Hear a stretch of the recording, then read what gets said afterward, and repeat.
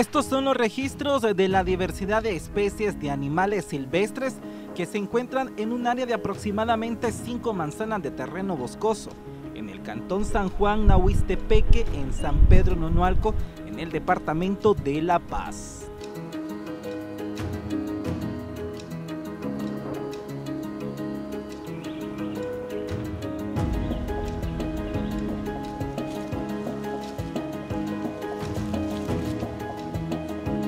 Y es que este grupo de personas desde hace tres años inició con un proyecto de reforestación con árboles nativos en esa zona.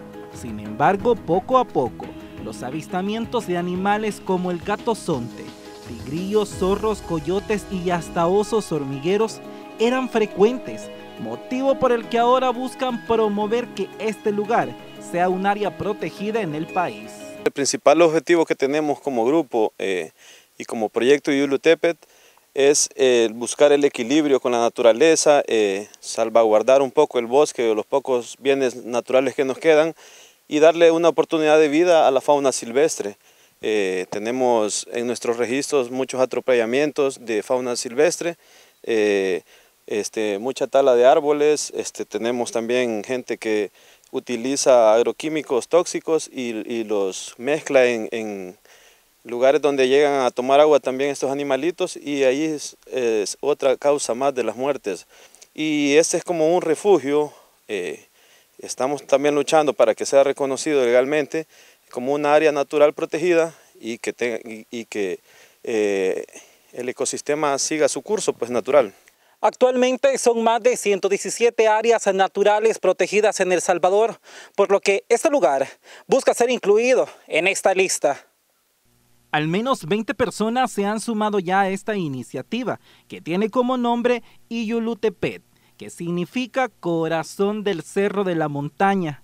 Aquí han instalado cámaras trampas en diferentes puntos con los que pueden registrar a día y noche los animales silvestres y sus especies.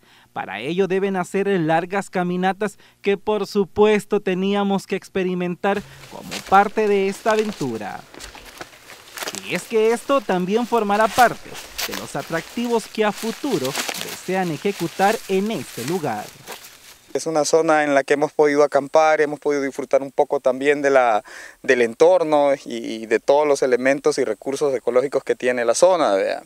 Igual la vista es preciosa, de este lado tenemos al Quesalapa, tenemos eh, parte de la historia de los nonualcos también, porque en esta parte de atrás, después del Quesalapa, está el, el cerro El Tacuacín, que era el cerro donde se escondía Anastasio Aquino. del otro lado está el volcancito que le pertenece a San Pedro Nonualco, está el Chinchontepec, eh, ah, se puede ver también San Juan Nonualco, entre otros lugares.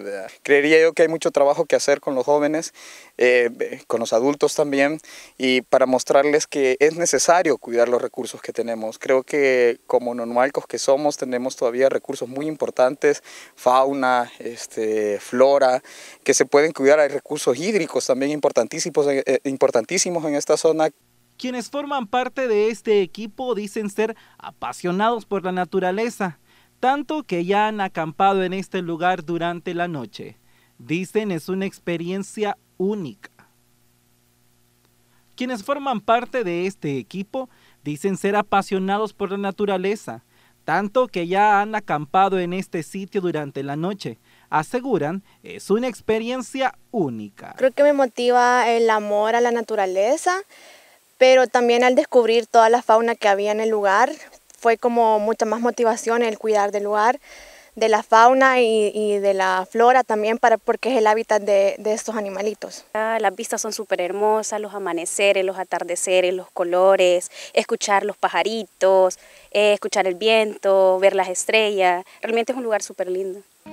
Y Yulutepet espera convertirse en una organización formal en el país y seguir con la búsqueda de ayuda nacional o internacional que les permita la sostenibilidad de este lugar que según sus proyecciones y esquemas de trabajo podría ser un destino no solo turístico, también para investigaciones de profesionales relacionados a la naturaleza y el medio ambiente. Con imágenes de Ricardo Tobar, Aldair Tadeo, Noticiero Hechos.